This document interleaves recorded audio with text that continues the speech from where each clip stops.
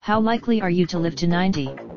Depends on your gen. Living to the ripe old age of 90 may depend on your body size, both height and weight as well as your level of physical activity, and seems to influence a woman's lifespan more than it does a man's, according to it in the medical journal BMJ.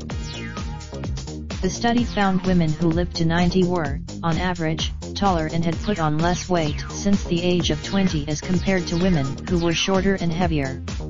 No such association. While the study is observational and cannot establish cause, the findings provide.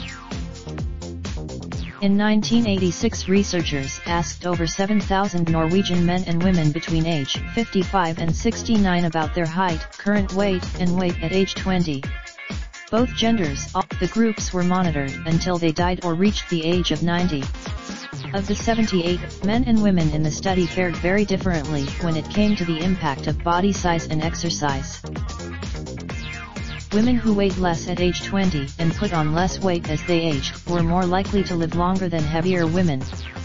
Height played a major, neither height or weight seemed to factor into whether the men reached their 90s, but activity level did. Men who spent However, women who were physically active for more than 60 minutes a day were only 21% more likely to live to 90 than those who did 30 minutes or less.